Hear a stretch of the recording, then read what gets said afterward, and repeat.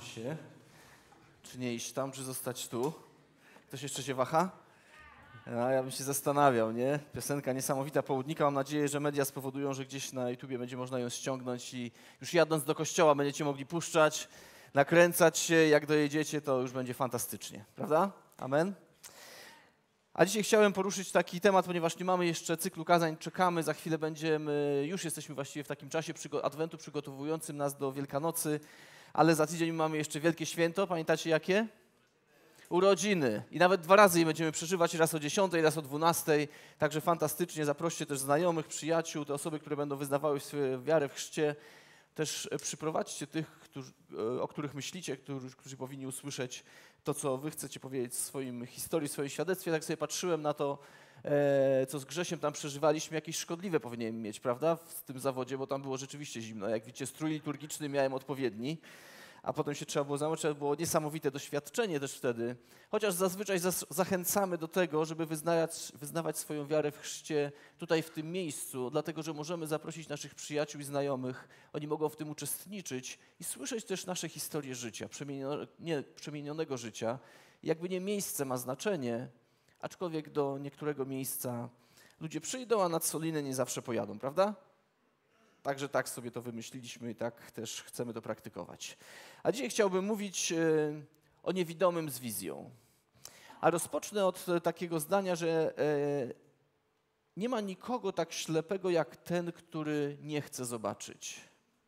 Albo nie ma nikogo tak niewidomego jak ten, który nie chce zobaczyć. I myślę, że wielu ludzi dzisiaj chodzi po świecie, których e, oczy dobrze funkcjonują, ale mimo wszystko pewnych rzeczy nie widzą. Bo sposób, w jaki żyją, albo sposób, w jaki żyjemy, ostatecznie doprowadza nas do miejsca, w którym stwierdzamy, że byliśmy albo jesteśmy ślepi bądź niewidomi. Raczej będę używał stwierdzenia ślepi, bo chodzi mi o pewną duchową rzeczywistość, a ta rzeczywistość na co dzień mówimy o osobach niewidomych. Więc wybaczcie, że nie chcąc obrażać żadnej grupy społecznej, ale będę mówił i używał tu słowa ślepi, nie dotycząc co nie dotyczy tylko naszego wzroku, tego fizycznego, bo wtedy uważam, że osoby są z jakiegoś powodu niewidome. Więc chcę dzisiaj opowiedzieć o człowieku, który był i niewidomy, i ślepy, i nie widział niczego fizycznymi oczami, ponieważ urodził się najprawdopodobniej w taki sposób, ale widział rzeczy na poziomie duchowym, na które znowu inni, którzy widzieli fizycznie, byli ślepi. I kiedy spojrzymy na ten tłum rano, który zgromadził się tam w tym miejscu, o którym za moment przeczytamy, to przypominają mi się, przy, przy, przypomina mi się tak, taka prawda, że nie wszyscy, którzy tutaj dzisiaj przybyli, być może zobaczą to, co Bóg chce pokazać. Czasami z tego powodu, że nie chcemy, czasami z tego powodu jest takie powiedzenie, że mamy jakby klapki na oczach, Niejednokrotnie nie chcemy pójść za tym, co zobaczyliśmy, bo wydaje nam się to zbyt trudne albo zbyt dużym wyzwaniem.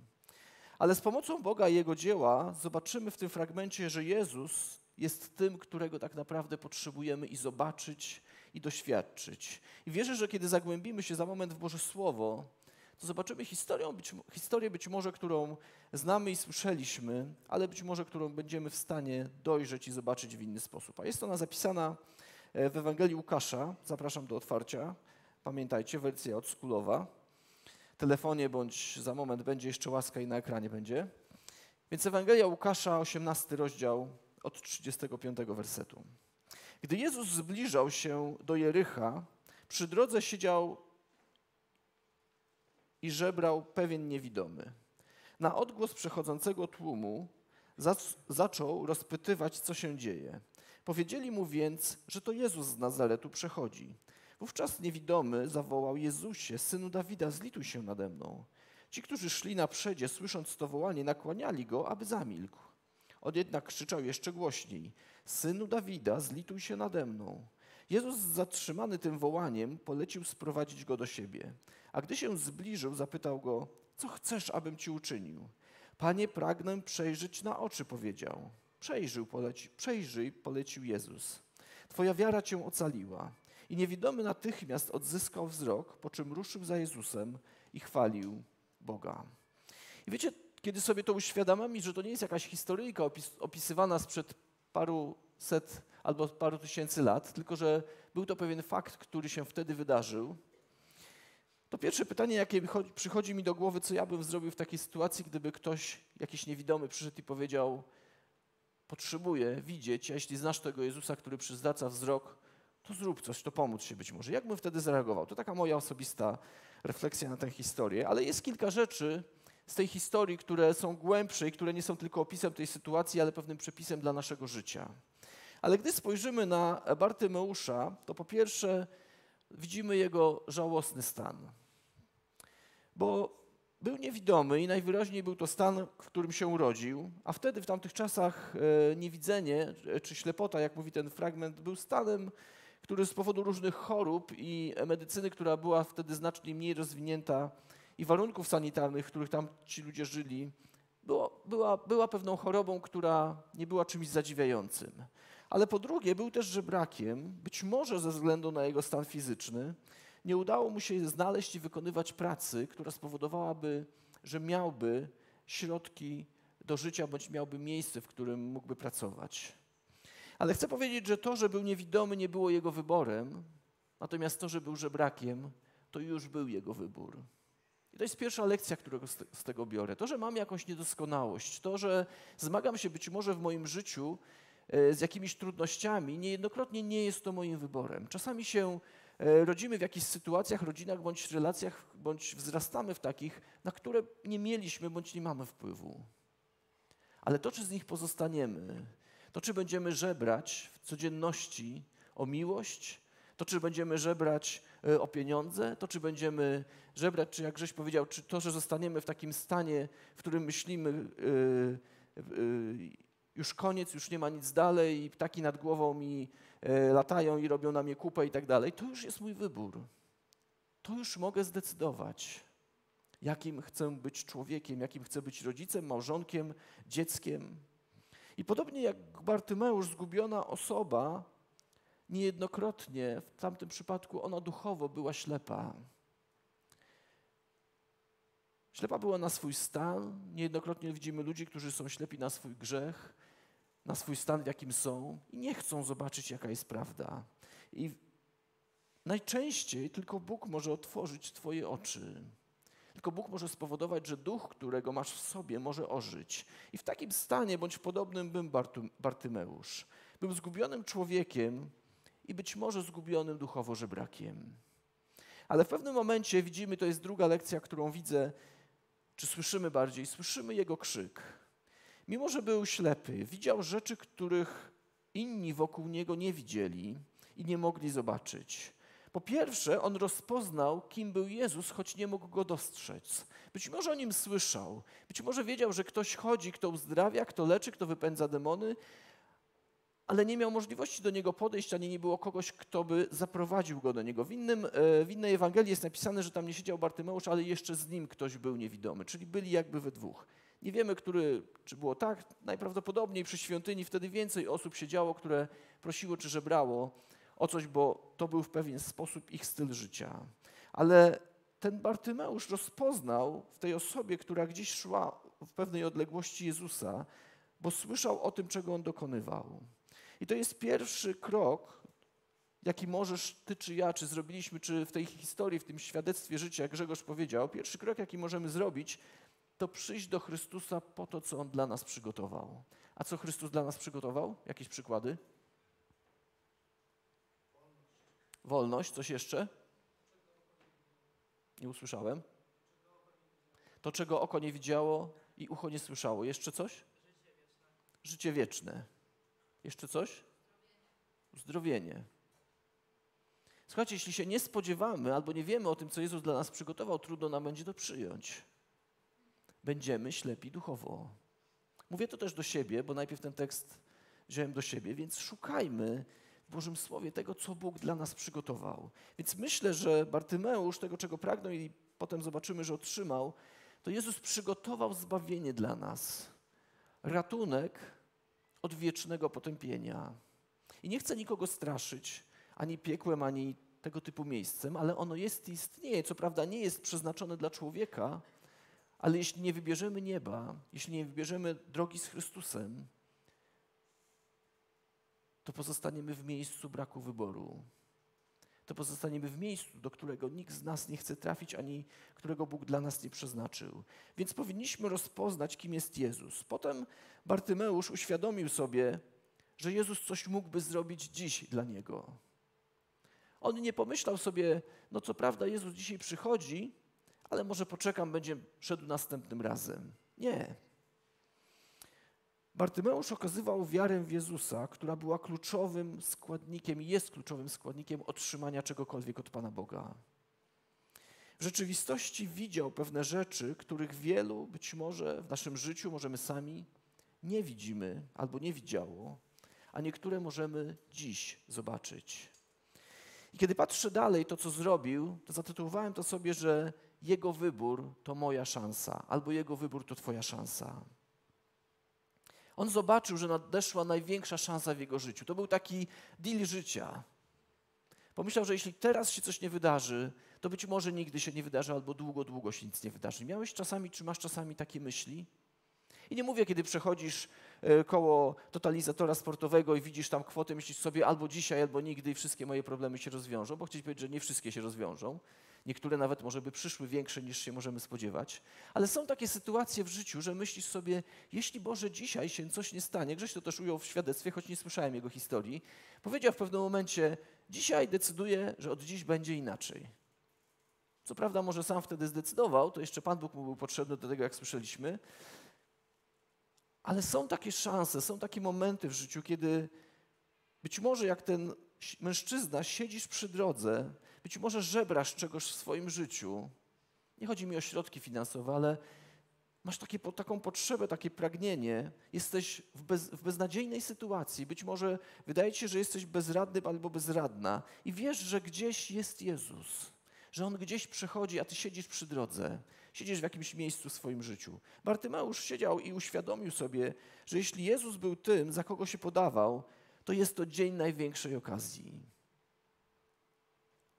To jest to dla niego dzień największej okazji.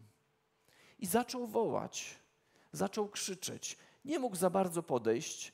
Wiecie, tam było wielu przy Chrystusie, którzy potrzebowali Jego obecności. Nikt nie, po, nie podszedł do Niego, powiedział, o widzę, że Ty jesteś niewidomy, to chodź podejdziemy do Jezusa. Nie, to tak nie wyglądało. On wiedział jedno, że albo się dzisiaj dopcha, albo dzisiaj do Niego trafi, albo przez wiele kolejnych lat będzie żebrał na tej drodze. Choć był niewidomy, chciał wykorzystać tę okazję. Gdybyśmy to mieli przenieść na nasze życie, to myślę, że dzisiaj są tu osoby tu bądź z tamtej strony ekranu, bądź są w naszym życiu, dla których może to być najlepsza okazja dzisiaj, żeby przyjść do Chrystusa i powiedzieć: Boże, jestem ślepy i potrzebuję przejrzeć. Dziś rano mamy okazję przyjść do Chrystusa i zostać na zawsze zbawionym przez Niego, przez Jego łaskę. A Jego łaska o tym mówi, że On umarł na krzyżu, oddał swoje życie. I kiedy nawet była ta piosenka, nasz jingle dla dzieci, którą będziemy co jakiś czas powtarzać, to kiedy padały te imiona, wiecie, co są imiona naszych dzieci? One nie wzięły się znikąd. Każde z nich to jest dziecko, które jest w tym kościele, już teraz nie są dziećmi, niektóre z nich, bo już są nastolatkami. Więc niezależnie od tego, ile masz dzisiaj lat, dziesięciolatków nie ma, poszły na zajęcia, ale może masz 15, 14, 16, 18, to Bóg zna cię po imieniu. I mówi, oto dzisiaj jest dzień łaski i dzisiaj jest dzień zbawienia. A jeśli dzisiaj podejmiesz tę decyzję, to obiecuję ci, że za tydzień możemy cię ochrzcić.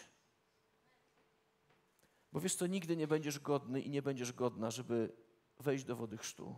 To jest kłamstwo, na które chcemy się nabrać. Możesz być nieświadomy albo nieświadoma tego, co robisz, ale to jeszcze mamy kilka dni, żeby to wyjaśnić. Ale kiedy patrzymy na dzieje apostolskie, to tam szli za Chrystusem, nawracali się, oddawali swoje życie Panu Bogu i potem potwierdzali swoją wiarę w chrzcie. To my to wydłużamy. Bóg się nie spóźnia, Bóg nie ma problemu z Twoim życiem, żeby je naprawić w ciągu jednej chwili. Może nie zawsze od razu uzdrowi, uleczy czy uwolni od niektórych rzeczy, bo potem to jest nasza praca nad naszym życiem, nad naszą przeszłością. Ale On chce przebaczyć i odciąć w ciągu jednej chwili, co za chwilę zobaczymy w życiu Bartymeusza. Bartymeusz e, zobaczył, że to jest szansa, której nie chce ominąć. Gdybyś siedział spokojnie przy tej drodze i na przykład myślał sobie, Panie Jezu, jeśli rzeczywiście masz dla mnie zbawienie, to podejdź do mnie do tej bramy. Mógł sobie tak pomyśleć. Powiem więcej, Bóg nawet mógłby tak zrobić. Ale on wiedział, że, on wiedział, że już nie chce dłużej czekać. Już coś w nim krzyczało, to co za chwilę przeczytamy dalej. Zobaczył, że ta szansa może się być może już nigdy nie powtórzyć. Grzegorz dzisiaj powiedział, że rzeczywiście nie mamy chrztu raz w roku. Mamy go co jakiś czas, jak się zbiorą osoby, które myślą o tym, modlą się o to, to wtedy. Może ja, bym, ja marzę, żeby tu stało baptysterium co tydzień i żeby co tydzień ktoś się tutaj wyznawał swoją wiarę chrzcie. Amen? Amen. Czy Bóg może to zrobić? Amen. Przez kogo? Są dwie osoby. Amen. Ale pomyśl, czy rzeczywiście, nie chcę wzbudzać, żebyście mi dobrze zrozumieli, ja nie chcę wzbudzać ani w sobie, ani w nikim poczucia winy. Czy ja się w tym tygodniu podzieliłem Ewangelią? Albo czy ja kogoś doprowadziłem do chrztu? Jest to nie wiem i powiem, że nie jest to dla mnie osobiście aż takie ważne. Ważne jest to, że Bóg chce coś przeze mnie i przez Ciebie zrobić. A jeśli otworzymy się na to, co On chce przez nas zrobić, to będziemy oglądać cuda. Cuda Nowego Narodzenia, cuda przy wodzie chrztu i cuda, gdzie On będzie dotykał ludzi i naszych i ich serc. Więc jest szansa, dzisiaj jest szansa. Najwyraźniej Jezus nigdy nie przechodził tamtą drogą, gdzie siedział Bartymeusz, bo gdyby przechodził, to pewnie zrobiłby to, co czytaliśmy, że zrobił. Wiedział, że jeśli miał otrzymać pomoc od Chrystusa, to musiał wzywać Jezusa, kiedy ten był tak blisko. Tu powstaje pytanie, jak blisko Jezus jest dzisiaj Ciebie i mnie. Bo być może myślisz sobie, Bóg jest tak daleko, że choćbym zdarł całe gardło, nie usłyszy mnie. Możesz czasami tak myśleć, bo być może przez większość Twojego życia wszyscy dookoła Cię lekceważyli, nie zwracali na Ciebie uwagi, nie słyszeli Twojego wołania, może Twojego krzyku. Może nawet myślałaś albo myślałeś albo myślisz o tym, żeby odebrać sobie życie, bo jest Ci tak trudno i tak ciężko, że nikt Ciebie nie słyszy. To chcę Ci powiedzieć, Jezus jest blisko i usłyszy i słyszy Twoje wołanie. Nie musimy kończyć życia. Niektórzy z nas żyją na co dzień, chodzą do pracy i funkcjonują, ale tak naprawdę w środku umarli. Niejednokrotnie w środku jesteśmy ślepi albo obracamy wśród, wśród ludzi, którzy są ślepi. A my mamy być kim? W Chrystusie? Świat? Światłością. Mamy wskazywać na tego, do którego jeśli my zawołamy, bądź te osoby zawołają, to przyjdzie z odpowiedzią. Wiedział, że droga Chrystusa była o wiele lepsza niż jego własna. Bartymeusz o tym wiedział, że droga z Chrystusem była o wiele lepsza niż jego własna, bo jego własna doprowadziła go do tego, że żebrał, że był zdany na łaskę i niełaskę innych ludzi. Być może myślisz albo myślałeś tak o sobie. Więc droga z Chrystusem jest o wiele lepsza. Bo po zbawieniu nastąpi zmiana kierunku w Twoim życiu.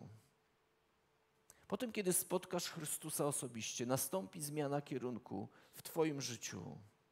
Amen, tak jest? Ktoś spotkał Chrystusa w swoim życiu? Można teraz publicznie to wyznać, w kościele to bezpiecznie, nie? A tam się wszystko nagrywa. Żartuję. Jeśli spotkałeś albo spotkałaś Chrystusa w swoim życiu, to to zmienia kierunek. Odwracasz się od czegoś na rzecz kogoś. Zostawiasz coś na rzecz czegoś lepszego. I wiecie, Bartymeusz raz zawołał, a potem powtórzył swój płacz po raz drugi. I ci, którzy szli obok, ci, którzy podróżowali z Panem, starali się, żeby Bartymeusz przestał wołać do Pana. Wyobrażacie to sobie? Siedzi człowiek, który mówi: Chrystusie, synu Dawida, zmiłuj się nade mną, a inni go uciszają, bo mówią, co powiedzieli? Pamiętacie z tego tekstu? Ucisz się, zacytuję może, żeby tu nie być, nie chodzić wokoło. Chyba, że ktoś ma otwarte. Ci, którzy szli na przedzie, słysząc to wołanie, nakłaniali go, aby, aby zamilkł. On jednak krzyczał jeszcze głośniej. Wiecie, nie daj Panie Boże, żeby ludzie wierzący byli tymi, którzy powodują, że inni przestają wołać do Chrystusa. Nie daj Panie Boże, żeby moje życie powodowało i sposób, w jaki mówię, powodowało, że inni zamilkną i nie będą wołać do Chrystusa, albo będę ich uciszał. Wiecie, jaki jedyny przykład, mam nadzieję, że już to dawno przeszliśmy i już mogę swobodnie o tym powiedzieć, że nam dzieci na nabożeństwach nie przeszkadzają. Amen? Nawet jeśli by tu teraz wpadło z krzykiem do mamy, bo się tragedia jakaś wydarzyła, bo klocek się przesunął gdzieś w inną stronę, albo ktoś mu zabrał, nam dzieci na nabożeństwie nie przeszkadzają. Powiem więcej, nawet osoby na emeryturze nam nie przeszkadzają. Nawet te w wieku lat 80 nam nie przeszkadzają. Nawet studenci nam nie przeszkadzają. Nawet nastolatki nam nie przeszkadzają. Dzięki Bogu, że są, że chcą tu być, bo to są już ich pierwsze wybory. I nie uciszajmy siebie nawzajem, powiem nawet więcej. Nawet od czasu do czasu, jak tam się ktoś z tyłu pojawi jeszcze z nie do końca dobrymi umiejętnościami i jest za głośno, to też nam to nie przeszkadza. Znaczy mi przynajmniej, a siedzę najbardziej z przodu, jest, jestem narażony najbardziej na utratę słuchu. Bo czasami jest za głośno, prawda? Nie byłeś na niektórych nabożeństwach. Nie, żartuję. Chcę tylko powiedzieć, że to, co mi przeszkadza w kościele, w zgromadzeniu ludzi wierzących, pytanie, czy to jest tak ważne, że mi coś przeszkadza. Oczywiście, jeśli bym tu głosił herezję czy ktokolwiek inny, to niech wam to przeszkadza. Nie mamy tej zapadni, ale kiedyś ją tu stworzymy, że wtedy każdy będzie miał przycisk i stwierdzi, nie, nie, nie, ja się z tym nie zgadzam. Myślę, że bym tak się wysuwał i pojawiał co jakiś czas. To mogłoby się tak skończyć, więc nie będziemy mieli przycisków. A teraz już poważnie, naprawdę, gdyby ktoś tutaj albo na jakimśkolwiek innym spotkaniu w tym kościele, nie tylko w tym, odchodził od Bożego Słowa, to to nam ma przeszkadzać to ma nam wiercić w dziurę w brzuchu. Sami mamy szukać po to, żeby obronić się w tego, w kogo wierzymy i jak wierzymy. Ale nie przeszkadza nam to, jak funkcjonujemy, bo pomyśl sobie o swojej rodzinie, jeśli ją masz własną, bądź jeśli urodziłeś się w jakiejś. Czy kiedyś przeszkadzało ci twoje dziecko, w tym sensie, że chciałeś powiedzieć, dobrze, już nigdy więcej nie wracaj do domu? Jeśli tak, to Bóg musi zrobić coś z twoim sercem. Czy kiedyś przeszkadzał ci rodzic, tu wchodzę na niebezpieczne wody, może ci przeszkadzał, ale po paru dniach zaczniesz mieć silną potrzebę i głód spowoduje, że dobrze, gdyby wrócił. Nie, mówię teraz poważnie. Dzieci kochają rodziców i nastolatkowie, i rodzice kochają dzieci i nastolatków. Może nie zawsze umiejętnie, bo uczymy się tego od siebie nawzajem w różnych okolicznościach przyrody. Ale Bartymeusz powtórzył ten swój płacz przed Bogiem i nie przestał wołać. Nie zważył na okoliczności, na ludzi, którzy chcieli go uciszyć, ale nie przestał wołać. Potrzebował czegoś od Pana i był tak zdeterminowany, żeby to zdobyć, że niezależnie od tego, co ktoś pomyślał lub zrobił. Tego sobie i każdemu z nas życzę w naszej wierze. Że jeśli czegoś chcemy od Chrystusa, dla siebie czy dla innych ludzi, to żeby nic i nikt nie było w stanie uciszyć tego głosu. Może nie chodzi o to, żeby wykrzyczeć to, ale żebyśmy byli odważni w tym, jak to mówimy. Ten krzyk był wart każdej ceny, jest, był wart każdej straty. Kiedy myślimy poważnie o przyjściu do Niego albo o powrocie do Chrystusa, to jest to waż, warte każdej straty i każdej ceny. I otrzymał odpowiedź. Kiedy Jezus usłyszał płacz tego żebraka, zatrzymał się to już jest dla mnie niesamowite. Kiedy Bóg słyszy, że ktoś tutaj na ziemi płacze i woła do Niego, to jest w stanie się zatrzymać pomimo tłumu. Amen? Czy to jest dobra nowina? Gdziekolwiek płaczesz, czasami do Pana Boga, może jako mama, bo zmagasz się z rodzicielstwem, z macierzyństwem, może jako tata, bo zmagasz się z tacierzyństwem, mogę, może jako dziecko, bo zmagasz się z czym wtedy? Z dzieciństwem się nie zmagasz, tylko z rodzicami się zmagasz. Może jako nastolatek, bo zmagasz się z silną grupą rówieśniczą e, albo z presją, jaka jest w social mediach. To chcę Ci powiedzieć, że Jezus się tam zatrzymuje i chce Ci odpowiedzieć.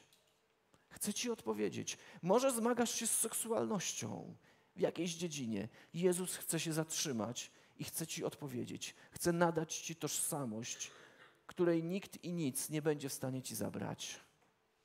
Słyszy Twoje wołanie. Jezus Chrystus nie jest zbyt zajęty, żeby usłyszeć Twój płacz.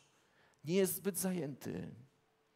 W rzeczywistości w tym wszechświecie nie ma nic ważniejszego niż On. Gdybyśmy tak wycisnęli wszystko z naszego życia, to ten, który powinien pozostać, to Chrystus. Pamiętajmy o cenie, jaką On musiał zapłacić. Udowodnił swoją miłość do mnie i do Ciebie, umierając na krzyżu dobrowolnie. Kiedy wspinał się na Kalwarię, to zapłacił za Ciebie, zapłacił za mnie, za wszelki grzech, za wszelkie odstępstwo, za wszelkie odejście. I obiecuję, że jeśli będziemy do Niego wołać, zbawi dziś moją i Twoją duszę. Zbawi dziś. A za tydzień możemy się cieszyć, świętować i radować, kiedy zatopimy starego Andrzeja, Martę, Krzyśka i Emilkę i nowego wzbudzimy do życia. Imię ci się nie zmieni, ale imię ze względu na które to uczyniłeś, zmieni wszystko w Twoim życiu, ze względu na imię Chrystusa.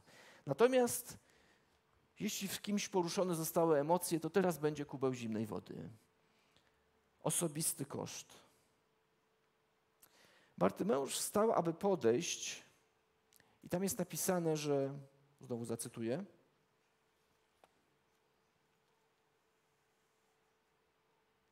Jezus zatrzymał się, zatrzymany tym wołaniem, polecił sprowadzić go do siebie. A gdy on się zbliżył, zapytał go, co chcesz, ażebym ci uczynił. Nie, to nie w tym, w Ewangelii Marka, przepraszam. Jest napisane, że odrzucił swoją szatę. Ten sam fragment, tylko w Ewangelii Marka, nie w Łukasza. Odrzucił swój płaszcz. Wiecie, płaszcz dla żebraka jest wszystkim. Jest kołderką, kocykiem, miejsce, w którym chowa produkty żywnościowe. To jest trochę tak, jak dzisiaj czasami, być może niestety, widzimy osobę, która ciągnie wózek i tam nazbierało mnóstwo złomu i tak dalej. Wiecie, co jest najcenniej, jedną z rzeczy najcenniejszych materialnych dla tej osoby? Jest ten wózek. Ponieważ na ten wózek może włożyć to, co dowiezie na, załóżmy, ten skład złomu, tam to sprzeda i ma jakieś utrzymanie. Albo jest ta kurtka jedna, którą być może ma. Dla Bartymeusza to był ten płaszcz, który kiedy Jezus go wezwał, to on zostawił wszystko, co miał. Pytanie, co żebrak może zostawić, nie? No być może ten kubeczek, w którym było parę groszy.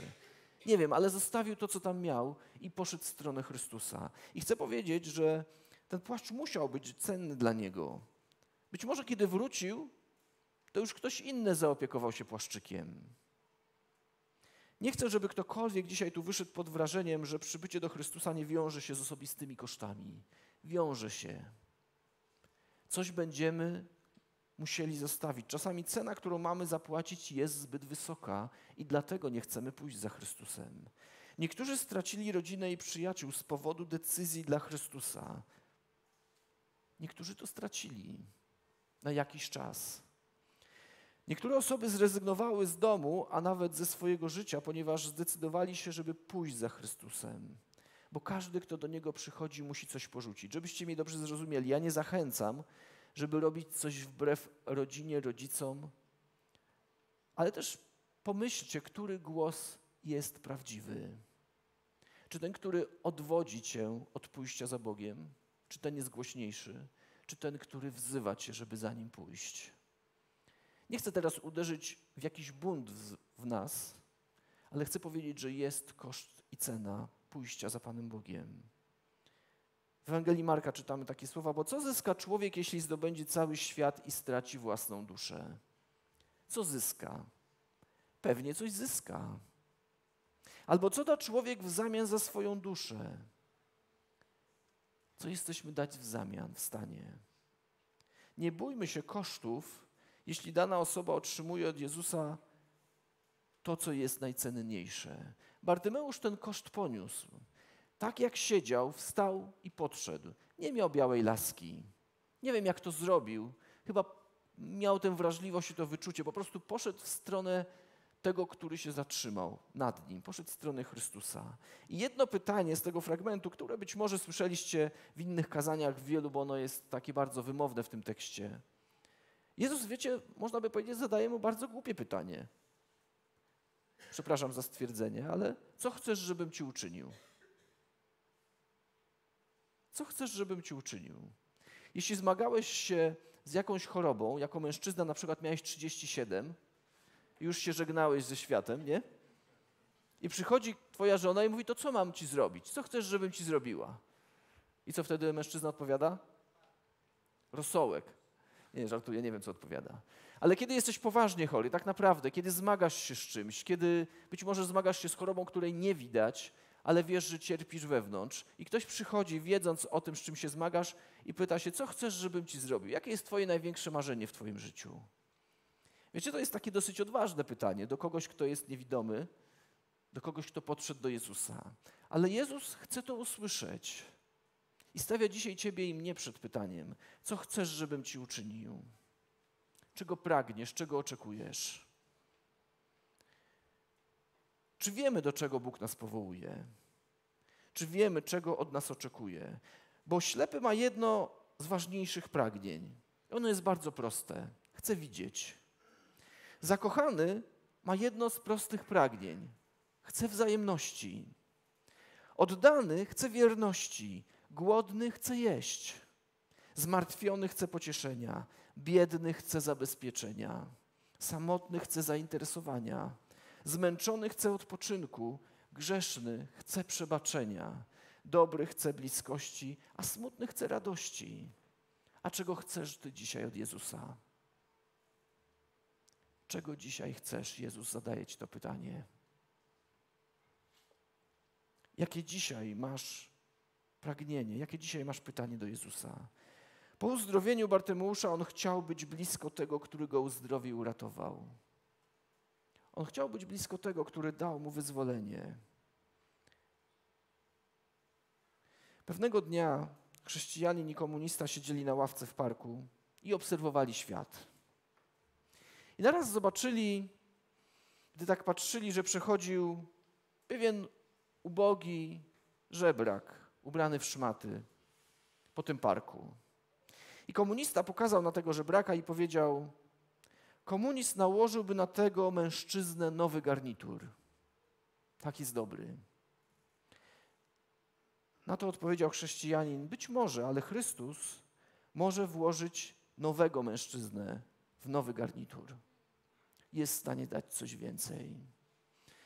I pytanie, które sobie i nam zadaję, to czy chcę tylko nowy garnitur, czy chcę nowego człowieka w nowym garniturze. Można by powiedzieć, że oczywiste, że chciałbym nową rękę, nowe serce, ale Jezus w stanie jest nam to dać. Może jak masz lat 80, no nie da ci już ciała 30-letniego mężczyzny czy kobiety, choć dalej możesz być silny, mądry i dający innym. Może kiedy masz lat 15, myślisz sobie, co ja mogę. Masz te same usta, te same uszy, ten sam wzrok, który jeśli poddasz Chrystusowi, to On poprowadzi cię w miejsca, których oczy nie widziały i uszy nie słyszały. To zobaczysz znaki i cuda, które przez Twoje ręce i Twoje życie może dokonać. Oczywiście możesz zamknąć się w smartfonie i zobaczyć tam, jak wygląda świat. Nie mam nic przeciwko smartfonom, tylko bardziej przeciwko temu, ile czasu i na czym tam spędzamy. Bądź możesz pomyśleć, jeśli podniosę swój wzrok o 5 centymetrów, to może mogę zobaczyć znaki i cuda, które Bóg chce dokonać przeze mnie.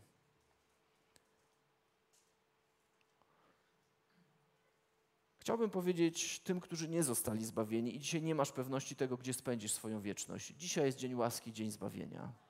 I za chwilę poproszę, że będziemy się modlić. Jeśli chcesz, to, to, jeśli chcesz się modlić, to chciałbym, żebyś się modlił, taką czy modliła, taką modlitwą, może oddaję Ci moje życie, bo chcę, żebyś uczynił to, żebym miał spokój ponad ludzkie myśli, żebym miał przebaczone i żebym wieczność spędził z Chrystusem w niebie. Może potrzebujesz takiej modlitwy, ale chcę również, chcę również powiedzieć do tych, którzy zostali zbawieni, że wielu świętych Bożych krąży wokół jak ślepi żebracy. Jeśli jesteś zbawiony, nie powinieneś żyć jak grzesznik. Jeśli w Twoim życiu są rzeczy, które trzeba naprawić z Bogiem, to dzisiaj jest dzień naprawy. Dzisiaj Boży warsztat jest otwarty. wjeżdżaj. On chce cię naprawić. Ma najlepszego mechanika, jakiego można sobie wyobrazić, swojego Ducha Świętego, który przyjdzie i w najlepszy sposób, w jaki możliwy jest. Część dokręci, część odkręci, a część wymieni. Co do małżeństw, nie potrzebujesz lepszego modelu albo lepszej modelki. Wystarczy, że wpuścimy Pana Boga i Ducha Świętego i On przemieni Twoje serce tak, że zaczniesz inaczej patrzeć, jak na nowego modela, jak na nową modelkę. Nie potrzebujesz nowych rodziców. Potrzebujesz modlić się o Twoje serce i o rodziców serce, żeby Bóg tak to przemienił, żeby kiedy inni przyjdą do Twojego domu, to powiedzieli: Chciałbym z nimi zamieszkać. Słuchajcie, to jest możliwe. To nie są takie, wiecie, emocjonalne wynurzenia pastora, tylko wierzę, że to jest możliwe. Ze względu na to, że jeśli Bóg zwrócił wzrok Bartymeuszowi, to dlaczego nie miałby czegoś w naszym życiu dokonać, jeśli do Niego wołamy? On nie jest głuchy. I zakończę ostatnie zdanie. Dwa ostatnie, przepraszam. Jezus przechodzi i proszę nie pozwólmy, żeby dzisiejsza szansa przeminęła. Przyjdźmy do Niego i bądźmy zbawieni, uzdrowieni i uwolnieni z tego, czego potrzebujemy. A ostatnie zdanie: nie ma nikogo tak ślepego jak ten, który nie chce zobaczyć. Czasami potrzebujemy współmałżonka, żeby nam zdjął klapki z oczu. Ja tego doświadczam, prawda? Czasami mojej żony potrzebuję i ona wie, co mi powiedzieć, żeby mi klapki z oczu na niektóre sytuacje opadły. I opadają. Teraz do mężczyzn, to miało być ostatnie zdanie, ale się rozkręciłem. I opadają klapki i wtedy czuję się jak facet w samych gaciach.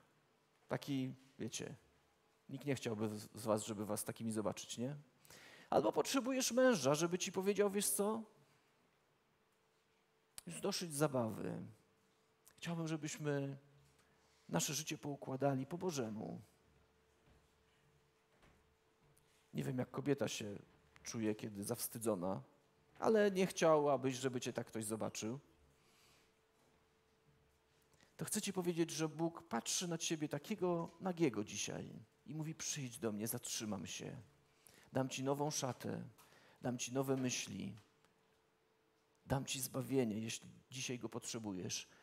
A za tydzień, na ile masz tyle wiary, nawet możemy Cię ochrzcić w Chrystusie. Tak o nas myśli. Powstańmy na moment. Chciałbym, żebyśmy modlili się. Ale jeśli dzisiaj się pomodlisz krótką modlitwą, to od razu teraz powiem, że jeśli się nią pomodlisz, to chciałbym, żebyś przyszła, przyszedł albo przyszła tu do przodu, bez względu na to, czy potrzebujesz zbawienia za moment po tej modlitwie, czy potrzebujesz uzdrowienia w jakiejś dziedzinie, czy uwolnienia to jest tu dzisiaj miejsce, żebyś tu przyszedł, a sam Bóg przez swojego Ducha Świętego chce dziś pracować nad Twoim sercem, nad Twoimi myślami. I Panie Boże, dzisiaj przychodzę w prostej modlitwie. Synu Dawida, zmiłuj się nade mną.